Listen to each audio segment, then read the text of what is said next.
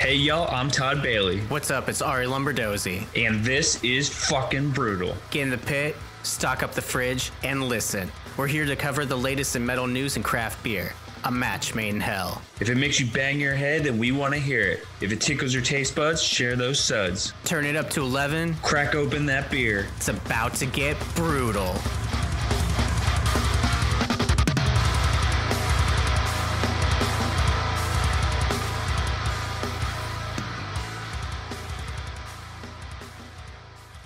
What's up there, Hopwolves? It's your boys, Arie, Todd, back with Brewtal episode number 84. Uh, one of our favorite, new favorite times of the year. We're going to be covering a lot of our favorites from the last quarter, Q2 of this year. Um, lots of great things have dropped within the last few months, so it was very hard to come up with a list, but that is for later in the episode. What's good, dude? How are you? How's your week been? How you feeling today? Uh, I'm actually feeling pretty good, man. Uh, like I texted you the other day, uh, I'm going to be heading back to news. I never thought I'd hear those words from my mouth, but uh, this is a uh, mental health choice.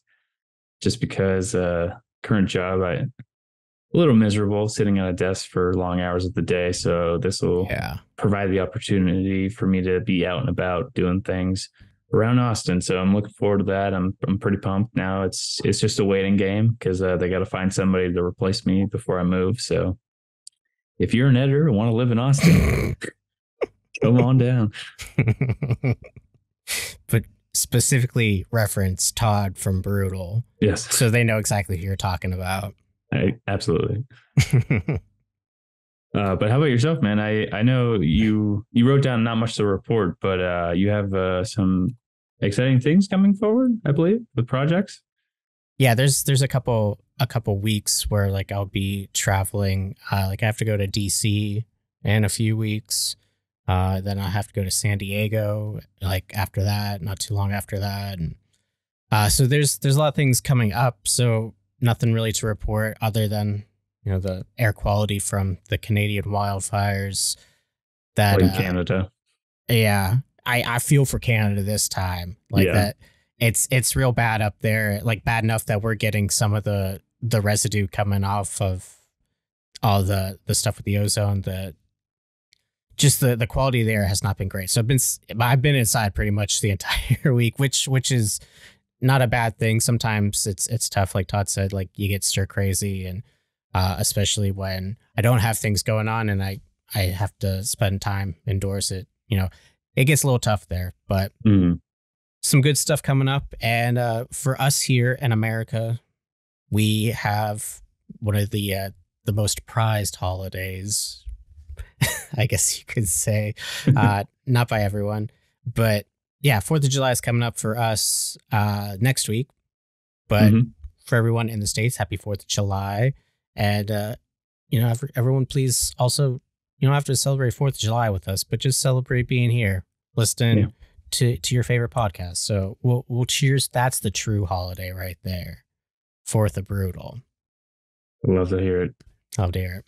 I'm going to get things started uh, since we're cheersing to this glorious weekend uh, with my beer. I actually chose this brewery to start with because it's Independence Brewing Co. I thought that was a nice touch to uh, the day and the weekend.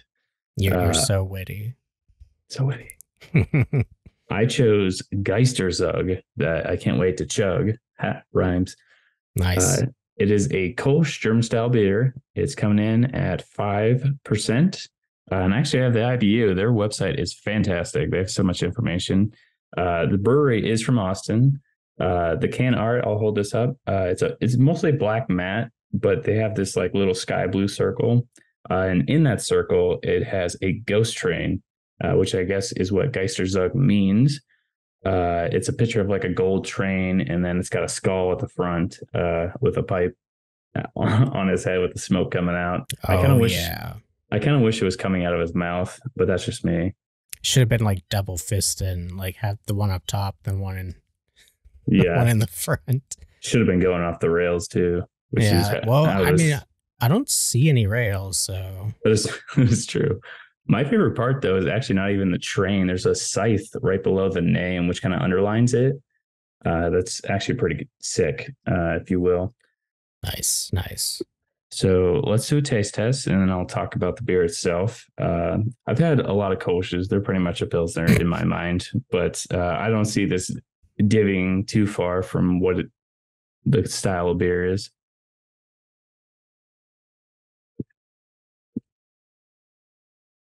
Oh yeah, that that's pretty much on point with what I was expecting. Although it's a, it's actually a lot heavier.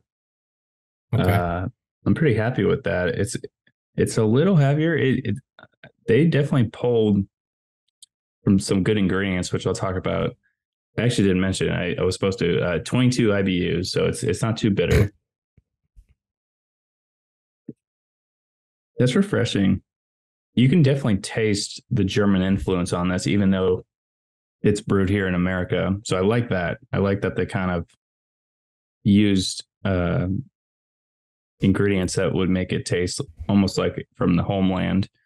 Uh, I'm gonna go sure. skip it, skip ahead to the ingredients. So the malts are German Pilsner, white wheat, and carafoam. Uh, the hops are Hallertau, uh, and Tettnanger, and then the yeast is Kolsch ale. So I, I think that matters from with what I'm tasting, which is awesome.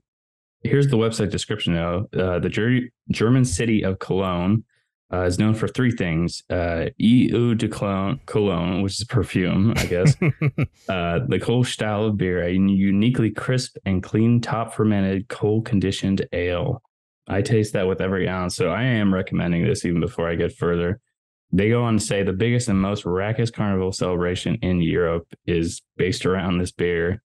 I don't know if that's a fact or not. I, this is news to me, but uh, I would love to be part of that celebration. Uh, they say that, that ghost train. Mhm. They say this epic citywide party rages for six days and nights leading up to Lent. Oh, I see how y'all party.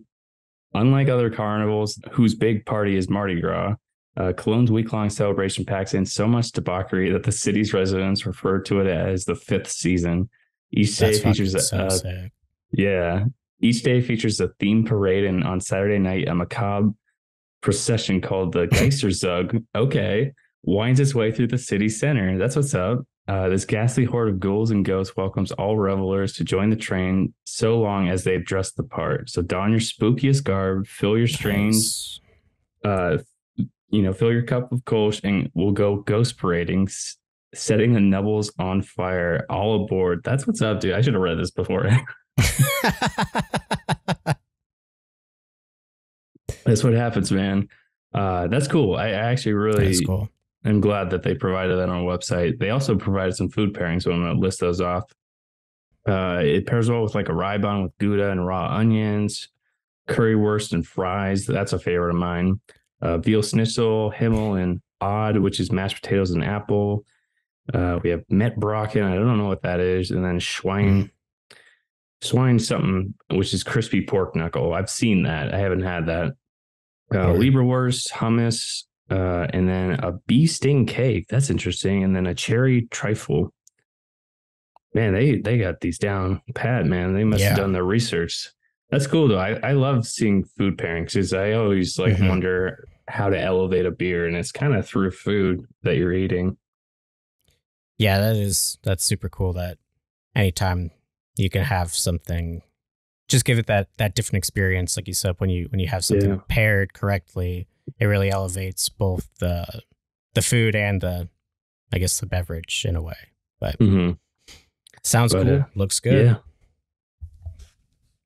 How about you, sir? Uh, you said you have an NA thing today, which I'm very interested.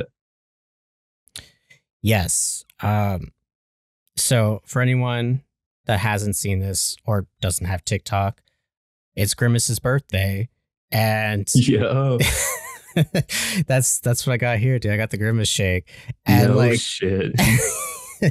I didn't realize this until we got there, but uh, like tomorrow's the last day that Mm. they're having it, so I'm like, fuck, this worked out nicely, and um, yeah. So the the TikTok trend is so fucking funny. Todd sent me so many of them this past week, and also, uh, my wife Sky has been showing me so many. But anyway, for anyone that doesn't know what I'm talking about on TikTok, for some reason, the grimace shake has become the uh, the topic of like this like absurdist humor trend where where basically like you take a sip and then it shows you in some way having been murdered or like people will be like in the back of trunks like sacrificing and dude it's it's wild uh i was like okay i don't know I, I had this thought the other day i was like grimace shake would be just funny since this is like a celebratory episode anyway but uh yeah I had one sip downstairs and it is good.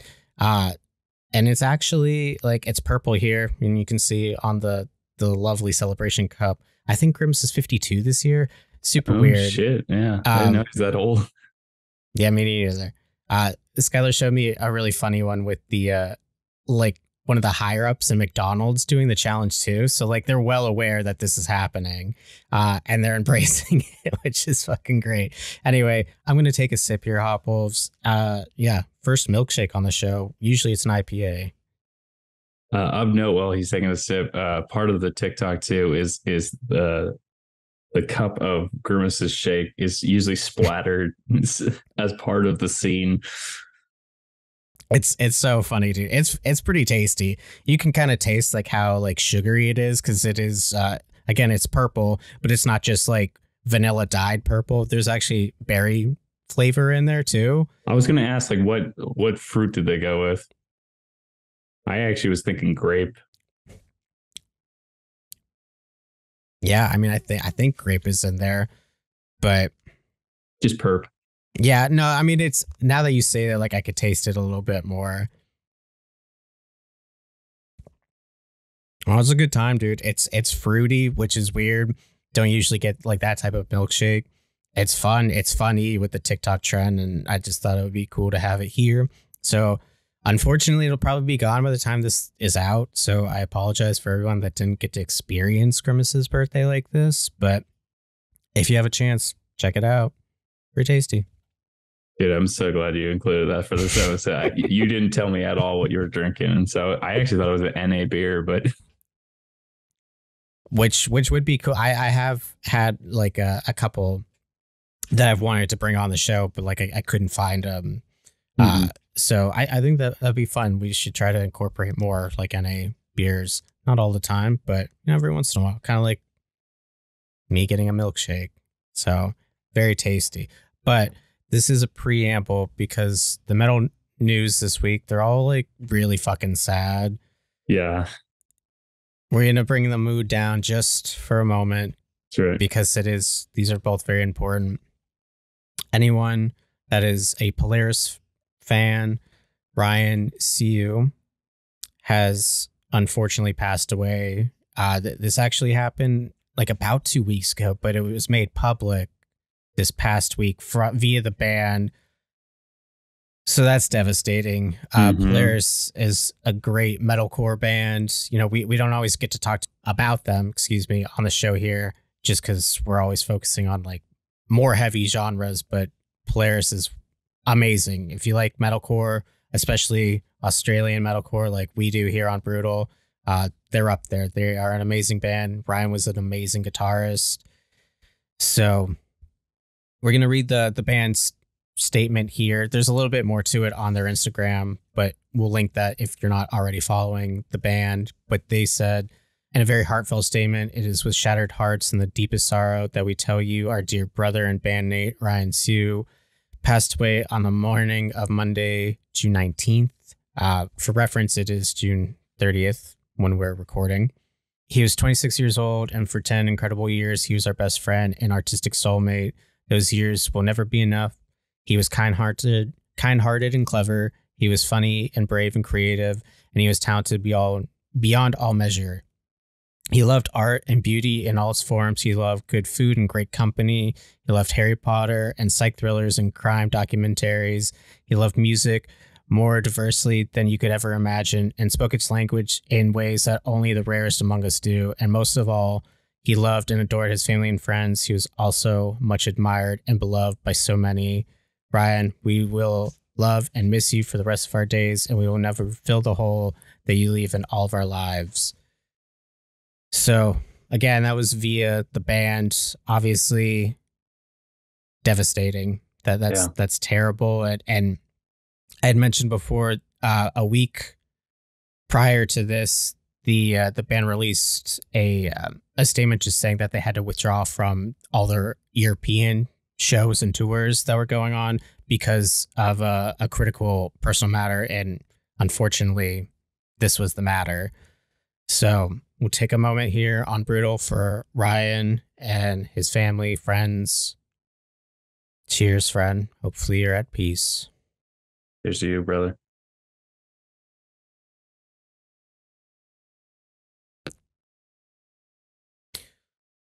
So, I guess on a final note for that, um, the band has a new album coming out called Fatalism. That's going to be out uh, September 1st via uh, Resist and Sharp Tones.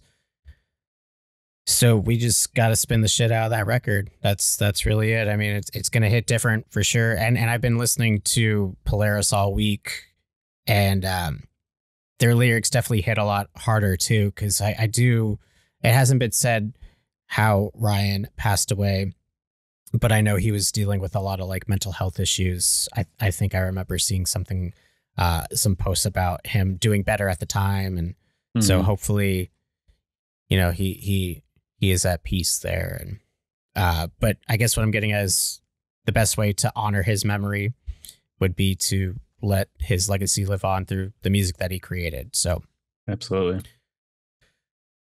yeah uh let's let's keep uh, the train rolling there dude what what else we got there's another yeah not great uh, situation here this this one has a silver lining at the end of it uh at least uh so it is with sadness uh that uh Year of the Knife actually endured a very bad van accident uh and singer maddie watkins is still in critical condition uh, so our prayers and thoughts go out to her. Hopefully, uh, she's able to make a, a, full recovery. Per the GoFundMe page, the band was traveling from Salt Lake City to Colorado Springs when their van collided with an 18 wheeler. Uh, Andy and Aaron sustained broken legs and other trauma. Brandon uh, got concussed. And then Maddie is in critical condition from head and spinal injuries, along with a few broken bones. Uh, but a GoFundMe was set up, which is awesome a lot of people have donated and they've actually already exceeded their goal of 100,000 which is so awesome and shows just how much the community supports uh, but donations are still open so please help out if you're able to because i know the vehicle they were in i actually think was the personal vehicle uh, yeah. So, so, the band itself is without their means of transportation uh, but of course their their well-being matters first and so hopefully uh, this money can be used towards uh, any medical bills. I'm sure they're they're probably going to yeah. have to sustain. So only the best for them. We we do wish uh, everyone a full recovery, and hopefully uh, they can get back to doing what they love. Because uh, I know in the hardcore scene, uh, they focus on a lot of good things in their music. I know they were a lot about the community, so they're definitely going to be missed while they're out right now. and we're hoping Maddie pulls through from everything. Uh, I hate hearing the words critical condition. That's a toss up in my mind. I'm I'm just hoping for the best. Yeah, I I feel the same way, dude. Um, yeah, just again, another way that you can be supportive is by listening to the music, keeping it alive, and, and of course buying buying merch and anything that that can help the band out. Again, if you're able to. So thoughts and prayers for the Year of the Knife family. Much love to Ryan's, Siew's family and friends. Absolutely. Uh, yeah. Tough, tough week in the community for sure. Uh, but we're to try to get back up a little bit here because it can't be all doom and gloom. Uh, we're going with the albums and the CBB for the week here again another another stellar stellar week and and this one was cool because at least the the ones that stuck out to us album and track wise uh, weren't like weren't really any big names so yeah. a lot of a lot of like really cool um even if they're not like up and coming but just like i i guess to us not as much talked about so anyway that's kind of cool when it's it's more it's not like so top heavy with with a lot of like big time releases okay so first off, we're starting with uh, Is Acer? Asar? Asar. Asar? Yeah. I apologize, of course, for any mispronunciations here. Uh, but Asar with their EP from Nothing to Nowhere. Then we have Adrian with Summer's Beginning. That's also an EP. And then Avogada. I think I think that's pretty close. Dropped one, the faceless one specifically. Followed up by Crowmouth with their Low Life EP, Death Ray Vision with No Mercy from Electric Eyes, Elwood Stray with Gone with the Flow. That one, I don't know why I had like such a hard time. Even in my even in my brain, I'm just like go with the flow, gone with the flow, gone with the wind. It's all over the place. But uh, Yes. that album's actually super fucking good. So to keep it going, then we have Gone Cold with Misery and Hindsight EP, Iron Rule with Soul Death EP, Loma Prieta with Last. That was probably like the best attempt I could give it. That was actually really Ah. nice. Thanks, man. Uh, then we have Mutual Hostility with Inhuman Anguish, Pyroxium Unit with Fragmentation Stratagem, Protect This City in Memory of Nothing, uh, Revenge Beast with their self titled album, Serpent of Old with Ensemble Under the Dark Sun, Spine with Races, and then we have Static Abyss with Aborted from Reality, metal as fuck. Uh, the the cartographer with the cold black EP. This is a really fun one. The Triceratops experiment with Dacian EP. Vampire Squad Decade of Mutiny One. That's an EP. And then last but not least, another Dino reference, which is always fun for us. Uh, XO Armor from Nublar. What do you think, dude? It, what what stood out to you this week? Again, with with not like a, lot of a lot of bands we're not familiar with, so so it's a lot of like really cool new finds. So uh, for most of these, I haven't listened to them fully. Uh, in a way, I've listened to a small sample of each uh, to add them to the list. But uh, once I actually listened to Loma Prieta is a solid post-hardcore release. So if you like that kind of flavor and genre, uh, definitely check that out. Iron Rule is a solid slab of metal. That was an awesome EP to listen to. Uh, but I'm very much looking forward to the XO Armor for the Jurassic Park reference. Uh, if you don't know, uh, the island of Nublar is one of the islands. I think that's the Lost World Island. Yeah, I think so. Uh, and even the album art, I think, has like a raptor on it or something. If Mhm. someone if someone doesn't do the raptor scream on this album, it's wasted potential. Yeah, Can't wait to check that out. The Triceratops experiments, I will check out. Uh, Static Abyss has some really good death metal. I remember, and there was one other uh, one I went. I did want to check out uh, Elwood Stray because I actually I remember hearing about them and the fact that you give them a stamp of approval. I I want to check that out. Yeah. I didn't get a chance to listen to all of Elwood Stray, but from what I did, it was a lot of fun, and it was like more like a like a post hardcore type of de- deal. And I believe they are from Germany too. Oh, okay. Oh, yeah, so so that that was a fun album. Uh, the Crowmouth and Iron Rule, those ones have your boy chomping at the bit to throw down too. Uh, I mean, of course, we could go on and on about like each one's individually, but trying to keep them more concise. Uh, yeah, so another like pretty solid day. Pretty excited for that, and also the Certified Brewtal Bangers. What do we got there, friend Reno? Dude, we are starting off hot and heavy with Orphan. They just released a new one called Hourglass. It deserves to be at the top, dude. Uh, I don't even know if you can make out any of the lyrics. I'm pretty sure you No. cannot. Uh, a lot of lows, a lot of gutturals, and we love to hear it. Yeah. Next up, Snuffed on Sight, dude, with their song Slippin'. Fantastic. Uh, pretty much on par with Orphan, uh, with a fucking beatdown. To Yeah. be expected.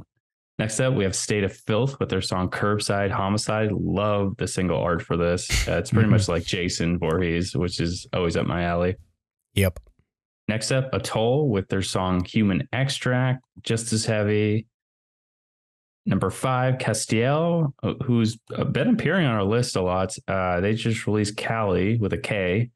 Uh, they're an interesting band. I don't know much about them, but they're heavy as fuck and they're welcome here. Yeah. Next up, we have Tarantula, Florida. We actually just had a special guest, Mitchell of 830 Audio, on. He's uh, the mastermind behind this band. Mhm. Uh, this one's featuring Abhorrent Abomination, and the song is called Severed Limbs Symphony. Uh, he can't miss with these names, dude, and those samples, those audio samples that he uses in songs. They're there.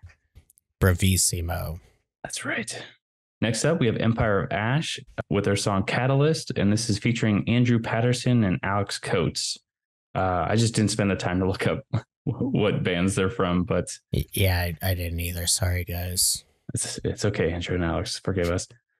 Next up, we have Crypta with their song Trial of Traders. After that, Underneath the Gun with Burial Crown.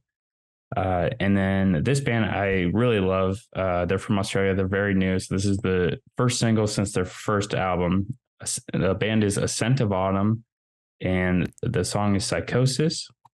I think like metalcore, but with deathcore influences. I love it. After that, we're taking a trip to Russia for a second with Call the Vatican, uh, with their song Mech. I think it's, I don't know how to say it, but uh, it means revenge, and that's all you need to know. After that, we have Drowning in Fear, which features uh, members from The Last 10 Seconds of Life and Searching Serenity. And the song is called Cause and Effect. After that, we have Mouth Breather with You Try to Die. Love the song title. no, no, you try to die. no, you try. Uh, next up, we have the band As Beings with their song Intruder. Then we have the band Somewhere to Call Home with their song Lessons. And then in parentheses, Unwanted Part Two. After that, we have Monosphere with their song Human Disguise. Then we have Observist with Familiar.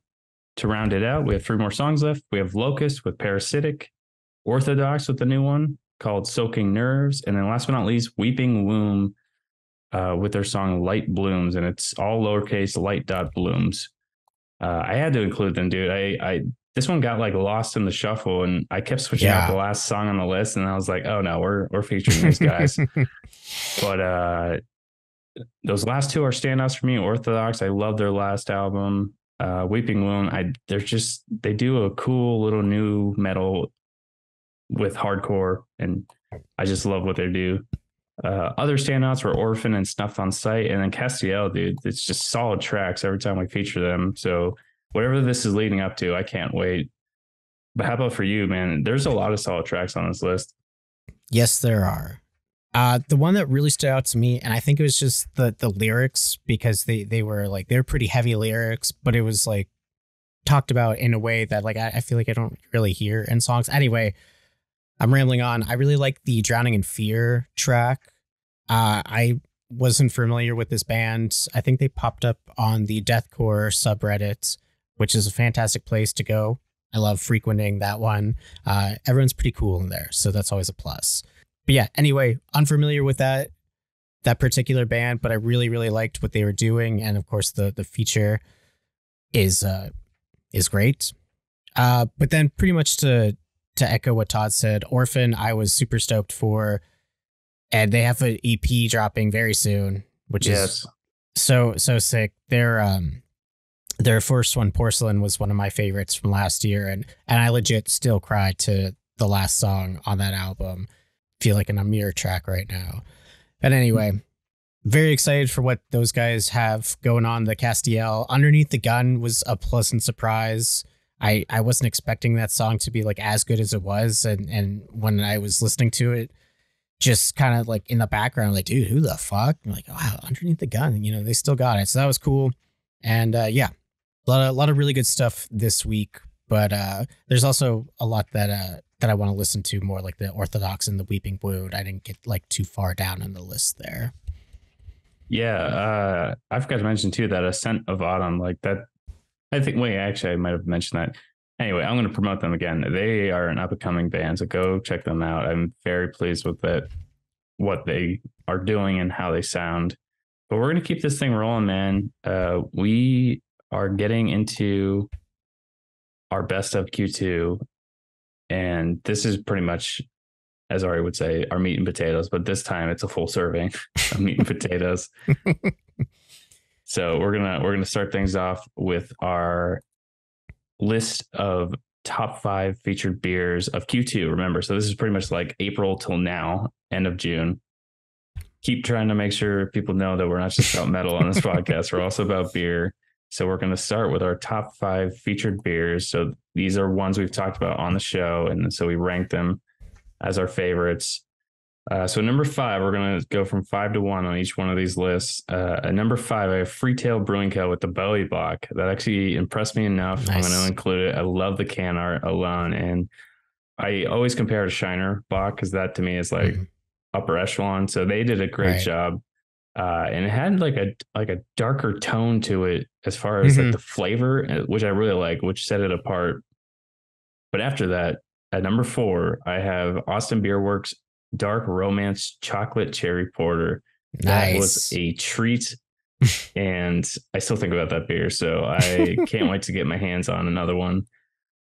At number three, it's a temptation. At number three, Modern Times Beer with their Fruitland Sour Tropical Fruit Gose.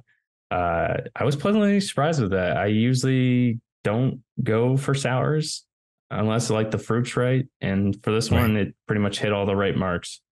So Modern Times, look them up. Make sure you try out a beer from them. At number two, though, Martin House Brewing Co.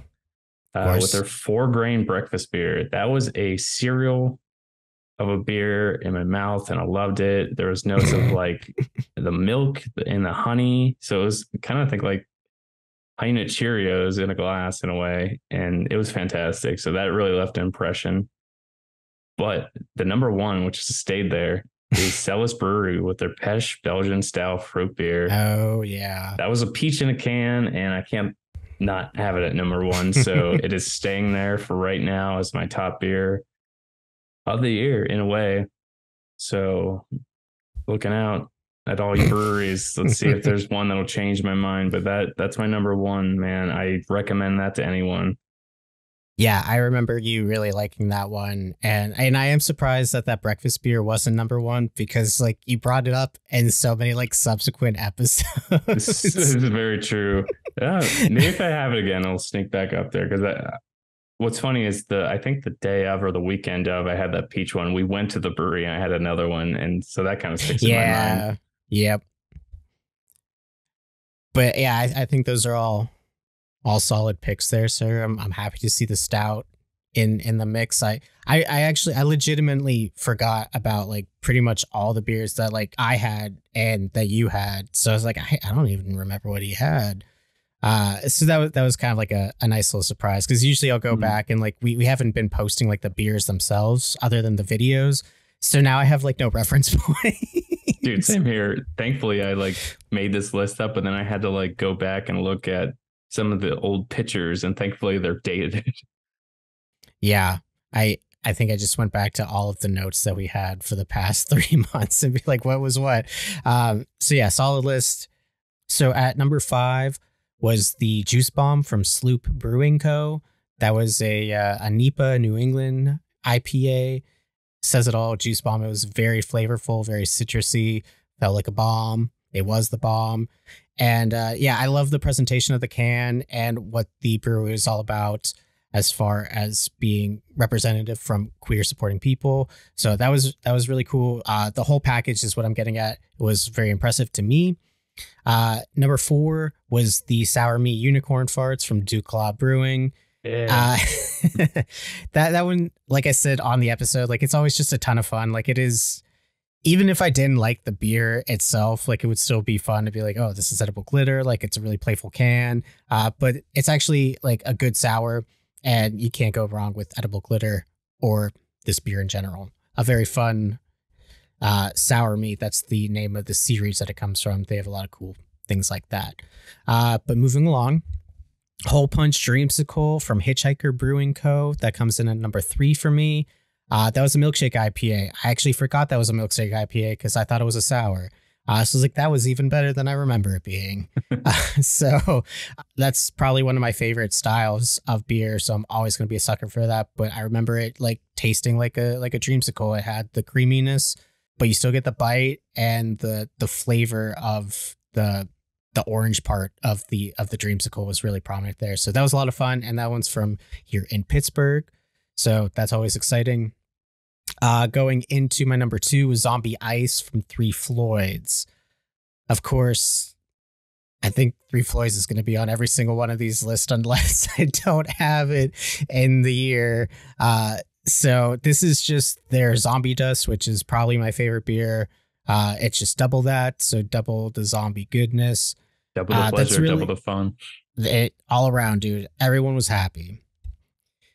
Yeah, I, I mean, it- it's got that that nice bite to it. It's it's a pale ale, which you don't really see like straight up pale ales. I mean, this is a double, um, so that's always exciting. And and again, I was kind of like biased towards it because I love the brewery and I love uh, Zombie Dust. So, anyways, Zombie Ice. That was exciting that we get it here in Pennsylvania now, so I can have it all the time. But number one was Heady Topper from The Alchemist. I knew like it, it was kind of unfair because I had already had it and I knew that was really fucking good. Uh, yeah, it, it's it's a great double IPA, dude. Just how like smooth it is for how bitter it is. Nice body. The Alchemist is such a cool name, and I'm happy that it is more readily available now because before it was like kind of harder to get. I mean, before I'm talking like fucking ten years ago. But let's keep it moving why don't you start us off? Now we're getting into the music. We're going with our EPs first. Yes, this top five EPs of Q2. So I'm starting out at number five. This is actually a band uh, I didn't know about until this past month. They are the Motion Mosaic, and I thank Bandcamp for this find. Uh, they released their EP Limbo Conditions, and I don't know how to describe them other than think Greyhaven, eat it a little bit, but more raw sounding. Okay. That- Okay. That's um, pretty much all I can say about them, but uh, I loved every track on this EP, so it really stood out to me and has left a lasting impression for me to include it on this list. Next up, Teeth, a biblical Yes. worship of violence. nice. Nice. It just, I mean, come on, that EP is so good. I don't know what else. It's just so fucking good. That's all you can say. Uh, at number three, though, Misery Whip. This is a death metal band uh, with their Alpine Militant EP. Uh, once I heard this, it shot up, dude. I was just like, yo, who the fuck is this band? uh, and they have like a cool saw as part of their logo, which is awesome. It's a nice, yeah. It's a nice touch, but anyone who loves death metal, check Uh, out these guys. I, I'm not kidding. Like I was that impressed with these guys. They're That's saying a number three. Yeah. So they're number three. Number two, Brain Dead, Misery Volume One.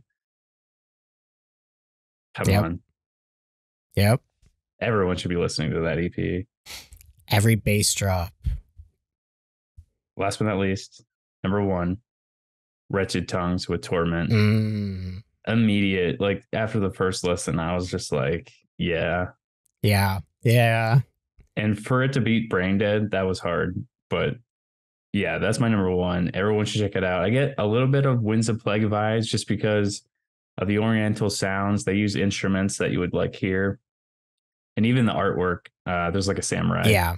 So it, that the pageantry kind of makes me think of Winds of Plague, but uh, they don't really sound like Winds of Plague. It's very much No. more de- deathcore with almost a Born of Osiris influence, if you will, just with those nuances I just talked about. Y- yeah. Absolutely. Yeah, if that's fair to say, but uh, everyone should be listening to that EP, and we hope to feature them one day on this podcast. So I'm going to put that out there into the universe. We love you, Wretched Tongues. Um, so that's my that's my five. How about you, sir? Lead us off with your. Again, this is the top five EPs of Q2. So these are Arie's picks. Number five is Teeth for me as well. Uh, well, not as well. You had it a little higher up, but I wanted to include Teeth, a biblical worship of violence. Just, yeah, like Todd said, the band's fucking stupid. They're great. And uh, just a lot of chaos, a lot of a lot of goodness coming from that one. Uh, okay, so moving on, we have Rot Nest with Torture Portrait, Ooh, yes, that's a great pick. and and this one moved around a lot. Like I will say for like various lists, and I was just like, I just don't know where to put it. Kind of like I don't know how to like really describe Rot Nest. Like it is deathcore. It's a little bit more down tempo, but like it's very emotional, which I'm, as anyone that's listening to the show know, am super into. Uh, and it's just like really creepy. So I was like, dude, I don't know. It's got to be in here somewhere. So number four is Torture Portrait from Rot Nest. Uh, I just kept going back to that one, dude. Number three, and it pained me to put it this low, but uh, Wretched Tongues with Torment. Uh, I really, really liked it, dude. It just came out not that long ago, and yeah, it shot up to the top of of the list. It's it's fantastic, and I know they're well, not for sure. Like they're based in PA, I think, or like around PA. So Oh, I didn't know that. it's it's somewhere up this way. Maybe maybe that's just wishful thinking, but I'm pretty sure they are.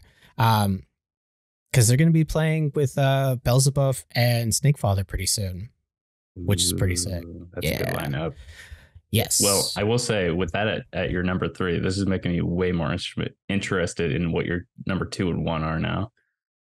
Yeah, it's going to be like not a surprise, but like kind of out of left field compared to the other three. um, these are a little bit. I wouldn't even say more. Well, one's more mainstream, but number two is Fox Lake with Fear and Loathing.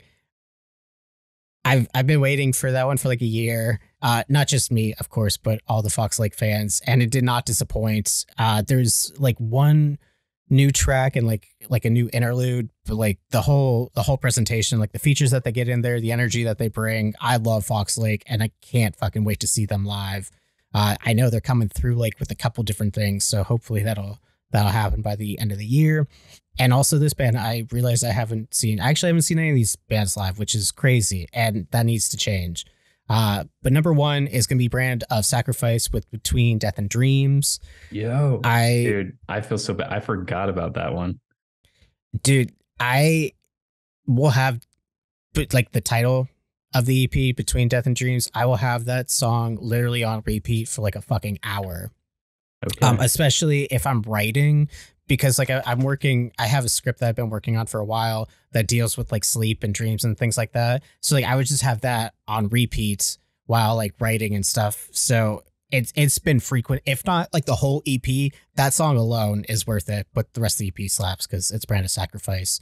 But it's just like it's one of those things because Brand has been getting like so big, and sometimes when bands get bigger, I start to like like not intentionally forget about them, but I'm like, oh yeah, Brand of Sacrifice, of course. So like when this EP dropped, I'm like, you know what? Like, oh yeah, like I I remember why we have Kyle the fucking Demon King at the forefront of, of the genre here. It's funny you say that because what I go through sometimes is if I know it's good, I kind of put it on the back burner because I'm, I'm like, okay, I know it's going to be good and I'll yeah. listen to it when I get to it. So, but I also think I was on vacation during when this dropped, and that's what made think me you kind of miss the boat. Yeah, I, I think I think that was that was the case for that. But I mean, please go back and listen to it. I need to. It it it is amazing and uh yeah, the and the video for Between Death and Dreams is also very very fucking cool. So check that out. So those are our favorite EPs overall.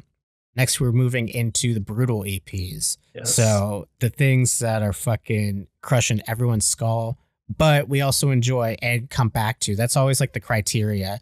Uh, you know, this we're not going necessarily on heaviness. That is, of course, like the main driving factor for this list. But Mhm. also if we again came back to it and legitimately enjoyed it. Um, so what do you got? Top five brutal EPs with Todd. All right, so a couple of these are repeats, but that's okay. That's a good thing. Yeah. I put Misery Whip as number five because I just Nice. it's insanely heavy too, which is a like I said, a great thing. Yeah. But at number four, Draconian Rain, man, with the Mm. t- tragedy eternal. That's a brutal alumni on the show. We got to feature them. I don't know what can't be said. This kind of is like right up the alley for anyone who's a fan of Lorna Shore, Synestia, all those bands, Mental Cruelty. But it's kind of like a love album, and which which is so cool with the lyrics. Yeah, I, I think you put it as like the the My Chemical Romance of like deathcore, It's mainly like the album art, but I was like, that's that's very fitting because like they're you're going for the same thing, just in a different direction. Absolutely. But I highly recommend go check them out. Don't sleep on them.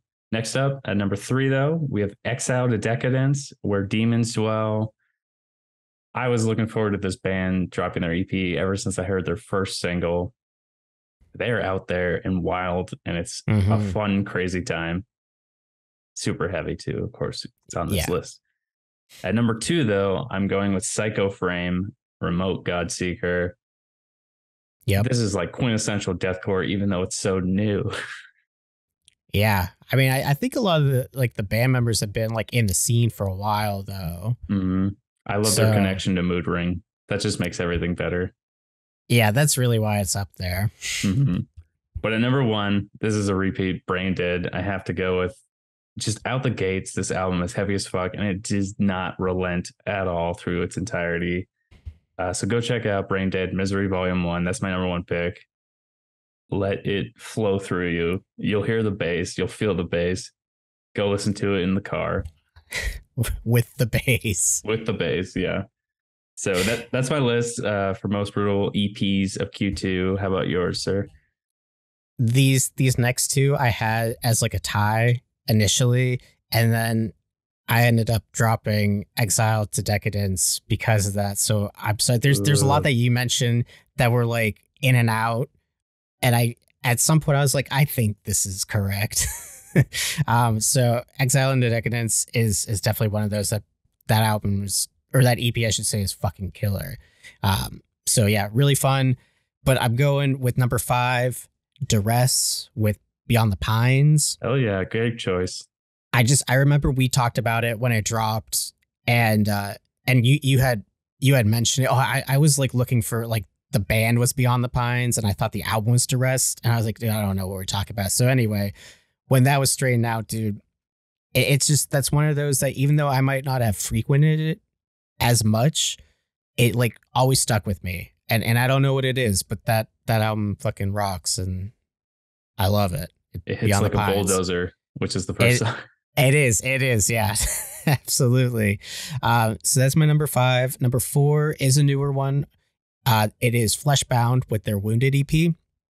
solid Uh, yeah. I, I think I kept thinking of like a different band, like with a similar name. I'm like, dude, I don't really like Fleshbound. And I was like, oh wait, no, no, no, no, that's not it. Like this is the one that that's fucking sick. Uh, Entity Six is such a bang of a song. Great video. I know we've talked about that. I think it's only four tracks. It's like a pretty short EP, but they all rip, dude. Uh, so that's that's my number four, Fleshbound with Wound. Number three is Brain Dead with Misery Volume One. Yeah, that that um just fucks, dude. what more can be said about that ep Yeah. just- it stand out from the gates you listen to it yeah, it's phenomenal. Can't wait for whatever volume two brings. If this is what we already can expect, I love it. Uh, but number two is Wretched Tongues with Torment. That is a repeat, but I could not have it on here because it is also stupid fucking heavy. And uh, having Adam from Oceano is always a plus as a get. So and Jake from Reflections. yes Who that's that song's awesome. Uh yeah, that's number two. Number one, I knew it as soon as it came uh onto the scene, Psycho Frame with Remote God Seeker. It's they have a shirt that says some shit like no whisper vocals, no singing, like no push pits. It's just like they just want to make it like as deathcore, as beat down as fucking possible. And they I think achieved it. It's fantastic. And of course, always a slut for any type of like super group type of deal. So it was it was bound to be number one. Yeah. Uh, that's a solid list, dude. Next up, though, is our top five albums of Q2, and I'll, I'll keep it going with with going first. At number five, I picked Pupil Slicer Blossom. I just had to. Hell yeah. They switched up their sound a little bit on this album, so there's a lot more melody, but there's a little bit of black metal in there, which is dope. Uh, very impressed with this. At number four, though, I'm going with Detriment UK uh, with their Okay. Between Two Evils, dude. This is uh, metallic hardcore, and uh, it just gets me so pumped up, dude. I don't know what else to say. Like it, it is. yeah, it's a good one to listen to. So I recommend them. I think it was their debut album too. oh, nice. At number three, it's a PA band. I'm going with Gloom Doom. They're self-titled. Oh, I don't know. What it is about that album? It's so raw. It just feels like they recorded it in like their house. Uh, and I love the the guitar tones. Uh, it's it's nothing crazy as far as like theatrics or production wise, but uh, there's some cool audio clips in there. I love the album artwork. It's kind of like an oil painting, but it's like this guy wearing this like metal mask. Yeah, yeah, that's a cool. it almost looks like something out of like medieval times, but I'm all for it. Like it is. Yeah, I I bought this album. I I actually really love it. I love listening to it in the car. Hell Number yeah. two, though, I love listening in the car a lot. and I'm talking about Vamachara, No Roses on My Ooh, Grave. Nice. Dude, uh, I've been getting into hardcore more, and I would say this is that album in hardcore that has really uh, caught my attention. I love the album artwork. I love the the crosshairs with the roses. Yeah, yeah, yeah. It's so good. Expect a little, if you're not familiar with them, a little bit of Knocked Loose influence there. Yeah. give or take, but uh, very much a hardcore album through and through. It's just solid from the first track to the last. Like, and there's a cool interlude. It actually almost makes me think of Loathe a little bit. It's it's the song Yeah. that's like an area code or something. That was out of left field, and I love that they included that. Uh, but at number one, uh, I am going with Stasis, Six Shades Okay. of Red. Dude, this is like metalcore, but I almost think of like Poison the Well a little bit. Uh, as far as like you'll hear some some cleans every once in a while, some singing, uh, but it almost is a little Dillinger esque in a way with Yeah. how frantic they get with the pace. But I immediately was enthralled by this album the moment I listened to it, and it shot up to number one. I was like, "There's no way!" Like now, now this is the album to beat for me. So they're they're a new band too. So check out Stasis. Again, Six Shades of Red. So I I recommend that one. Yeah. Anytime you get something like where it's like really like that special and resonates like that, hmm it's cool. And it's funny, like even talk about loathe, like that that's how I feel like listening to like I let it take me or I let it in and it took everything. Like you just kind of like existing and but also able to appreciate it. And Yeah. I wasn't I was not expecting that to be your number one. You're always coming out of the of left field with these ones, which which is great because like I know like what we talk about, but I feel like what we talk about is only like like you you're usually listening to something like way more that I'm just like, dude, I wouldn't expect this. So that's exciting. Yeah, Um, and the gloom doom thing too is was good. That album rips. It'll show by the end of the year. My tastes in genres that it has been like all over the fucking place. So it's going to be very interesting by the end of the year what my top top albums are. I completely agree. I, I feel like I'm I've been going more into the hardcore, like more like like beat down, slam, like things like that. But uh that's not really doesn't really show for this list in particular, but except one. Uh so we'll get into it. Number five, dude, the the five spot I was flipping in and out up until The like worst one. yeah, because I I really wanted to put like Pupil Slicer. I really wanted to put Vamachara on there. Uh, even even dude, Frozen Soul was up there for me, but there's a lot that I had a really hard time like placing into it. But anyway, so number five, the the coveted five spot, I guess, uh, is Jesus Piece with Oh, yeah. dot dot dot so unknown. I just feel like the raw aggression of like South Philly encompassed into one band. You feel like you're in the room with that band on that album. Yeah, dude, it it it hits so hard. I mean, the tones are like in your face. Aaron Heard has such a good like presence. Uh, it the the whole thing. I was like, "Eh, this. I think I just listened to this one like a bit bit more. Mhm. Uh, so yeah, they they just keep progressing, but like while still maintaining the integrity of Jesus Piece, which is just in your fucking face heavy. Uh, moving along, number four is Impuritan with their Wrath album. The the influence of Whitechapel is throughout the whole fucking album, and that Oceano, I hear. Yes, both both like it's just like dripping with essence of both those bands, which is not a slight. That that's fucking awesome, and it kept me coming back.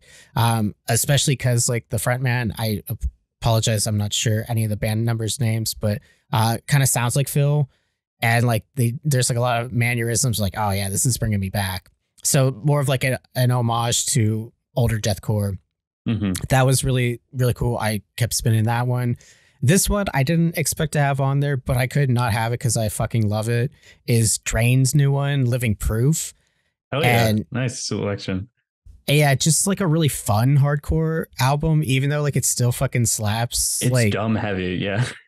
It, it's just I don't know how else to describe it other than fun. Like the the album art is like all like beach themed and like really colorful and shit like that. And uh, but yeah, I, I would love to see Drain. Uh, I mean any of these bands live but that one in particular, I would love to have like a boogie board and start crowd surfing. And I was gonna say great selection for Shark Week coming up. So uh, heavy rotation for sure. uh, so number two, I'm putting this as one album, even though it is not. Uh, I can do that here. Is the Acacia Strain with Step into the Light, Failure Will Follow. They just know how to evolve over every like I, I they they know they know what's up like they're following what they they need to do for step into the light like there's no frills like they said they're all straight bangers mm-hmm. uh so you get that but then you also get a doom metal album like it comes in late in waves and it's one of like the best sounding doom albums ever so i had i had to acacia is at like i think they they're at the top of their game even though like Continent's still my favorite album. Uh, they just continue to fucking kill it. And uh, I think it was uh, Chris Rabideau from the Breathing Process put it best. He's like, this is like existential horror in an album. And I think about that like every that. time I listen to it. So I was like, yeah. Uh, anyway, that's my number two. But number one, it's so accessible. It's dumb, stupid, heavy. It's a throwback, but they're newer. I'm talking about The Spoke, Zarathustra. All right. Uh, I love it. I, act like you don't know dude it's like 18 minutes uh, dude i fucking love it uh, especially they they have all like funny names too which is like a nice throwback to the the time like the myspace era but there's one song that sounds like it could be on an as blood runs black album and i was like you really nailed the tone you really nailed like the essence of like that earlier stage of deathcore uh so i loved it dude and i love the album artwork too uh the whole thing fantastic um, so yeah, that was my number one for best albums. Uh, let's go on to Brutal, the best Brutal albums of Q2. Bring the heavy, buddy. Let's dust off this phone. At number five, I am doing a pretext to human suffering with their endless cycle of suffering.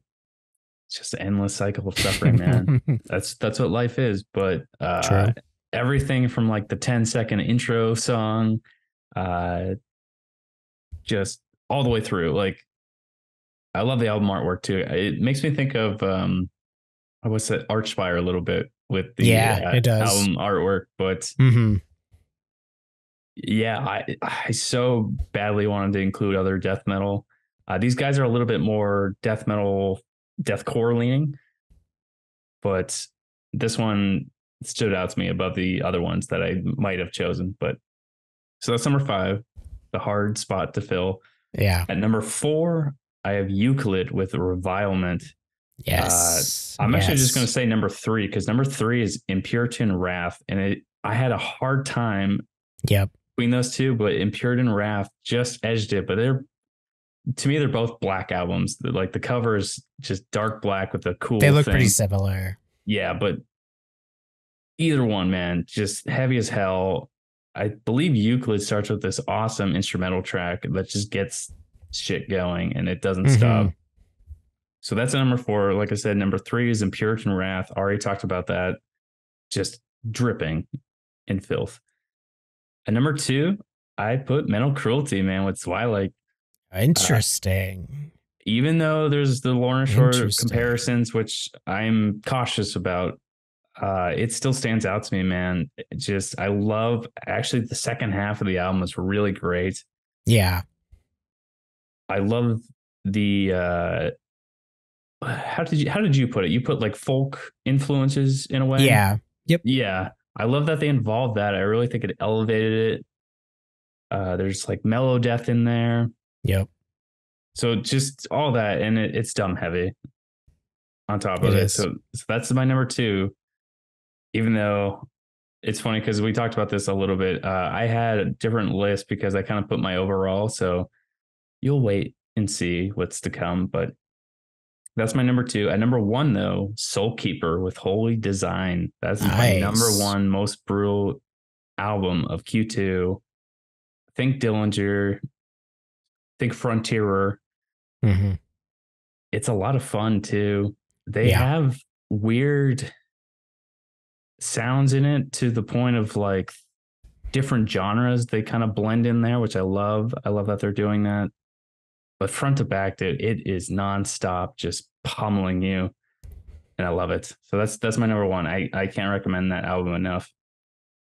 I remember you talking about that one when it dropped, and, and I, I never gave it as much time of day. So I'm going to have to revisit that one because I remember that it was sick, but it's just one of those get caught up in like something else that dropped that I was a little bit more looking forward to. And it happens all the time. So Yeah. that was cool. That was a good solid list, dude. Uh, lots of heavy hitters. And, and I've got pretty similar ones. Uh, I'm starting mine off with Euclid with Revilement. Uh, yeah, I, I remember that you had sent that over, and I was like, dude, this fucking this slaps. And uh, it also used to be Will Ramos's old band, so You know- I didn't know that. I'm pretty sure that was the same one that he was in. Uh, correct me if I'm wrong, but yeah, I think that was like right before Lorna.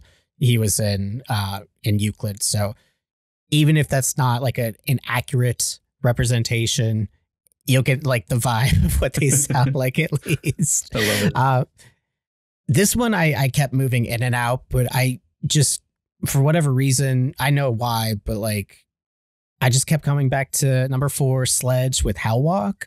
Ah, that's a great pick.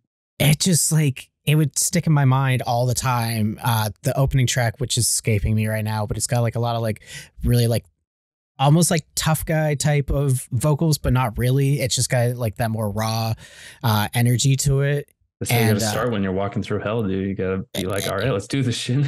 you got your you yourself are the sledge boom and that, that's basically like the best way to describe the album is like you feel like you're getting beaten over the head with sledge and uh, I think the artwork too is very much in tune Mhm. with the music. I love. I think they nailed it with that.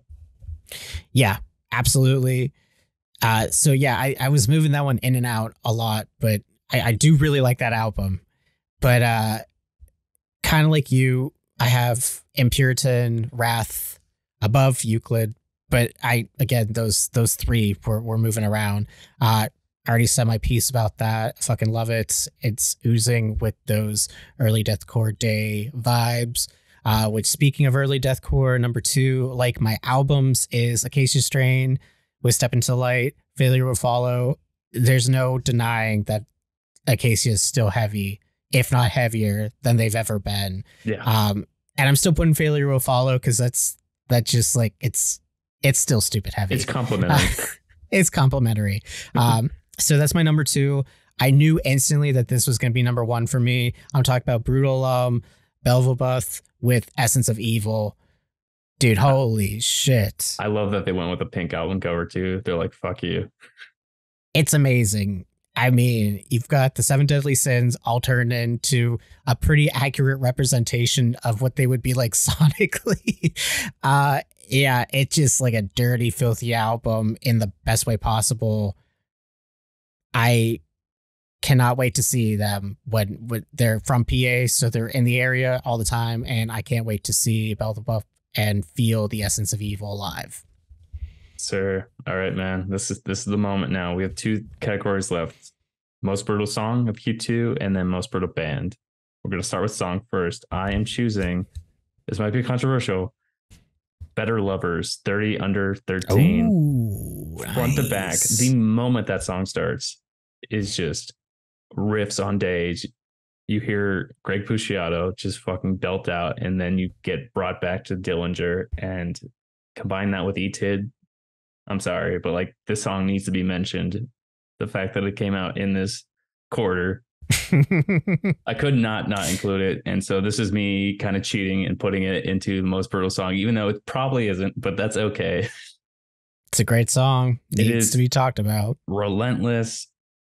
It gets you moshing, nonstop energy. It loops so perfectly. Like you'll forget that you're playing it and that like, oh wait a minute, hold on. How long is this song? It's a great pick, dude. Uh, and yeah, it, it's everything that you could imagine from from the people that are in there. I I went the more traditional route, but I still feel like kind of controversial because brutality wise, but not really. I'm going with the recently released I the Devourer from Synestia and Disembodied Tyrant. It's a good one.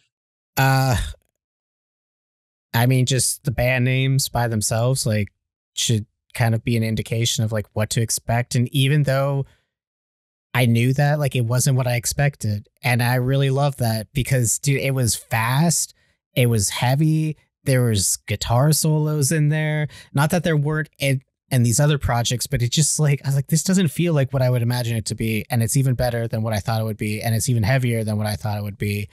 So yeah, that that was the one I went with. Really close. I almost put knocked loose, but I was like, that's kind of a cop out. Uh, but the abhorrent abomination with whatever they're doing is very close to the Eradicator is one of the, like the heaviest songs of the year for sure. All right, man. Now, even though we said our most brutal song, Q2, this is what takes the cream of the crop. We are talking the most brutal band of Q2. I'm gonna keep it in line. I'm gonna start first. Soulkeeper, come on. I'm gonna match. I'm gonna match the album I chose. I don't know what can't be said about this band. I just I think they're very special with the fact that we don't have Dillinger anymore. Uh, yes, Frontierer exists, so they're right on their level. But I love Right. just the nuances with this album, and they still make it heavy, and it's just in your face, constant, from first song to last. I really think the album artwork too kind of just shows you how eclectic and all over the place this album is, with it still being just as fucking heavy. So Soulkeeper has my attention. I know. I think Hardcore Keem is a huge fan of these guys. I, I think I he's think got so. a lot of T-shirts with their band name on it, but they're doing it for me as far as heaviness, like just batshit crazy, heavy. That's what's up, dude. Like I said, you've got me wanting to to go back and really revisit Soulkeeper because I did not give them the time of It'll- day. It'll keep your soul. Not much left, but they can have whatever. I'm running on E, but I'm running on you. Hell yeah, dude. Great choice. Uh I'm not gonna match you in the sense of like this is who I picked for heaviest band. I love you Bellzlleb, but I had to go with the goats, Acacia Strain for heaviest band. And I say that not because of what I've already said or the obvious that it's the Acacia Strain, uh, but just the fact I can't reiterate it enough. Like they're able to progress while still sounding like the Acacia Strain, but in a different light, like step into the light. It's just like they're they're they're able to evolve is what I'm getting at, and not Mhm. only evolve but like innovate, like having the releases that they have been, like how Slow Decay was released, like It Comes in Waves was left field, and even even two albums that no one was expecting until like a couple days before. Uh, the Doom one, Failure Will Follow, is not what you would expect at all from Acacia Strain.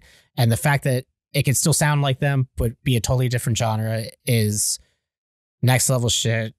Will forever be an Acacia Strain fan. There's a reason why they're still around. dude, you make me want to listen to those more. I it pained me not to include them, but we still got time. It's only mm-hmm. halfway through the year. This is only Q2 we're talking about, guys. I had to move a lot of overall picks, so there's certainly some in contention outside of what we just talked about. And as you heard, we continually shift. I always think of ESPN. It's like ranking sports teams, and then like you have the red arrow going down, the green arrow going up. Like that's Yeah. how this feels. Like it feels like draft day. Solid picks though, man. I, I'm glad you included Acacia Strain because it, it needs to be talked about just on how consistent they are, even though they progress. So Yes. I love your number one pick. And yes, you're not cheating. You can include both. It's a dual album. You're supposed to listen to them together. It's a duel. But uh that concludes our best of Q2. This is always fun for us. This keeps us up at night. Literally. So I'm I'm glad we got to this point in the year. It's been a great year. We didn't know how 2022 could have been topped, but so far 2023 is looking great. Guys, thank you for listening. Stay brutal. Drink responsibly this weekend. Have fun. Celebrate America you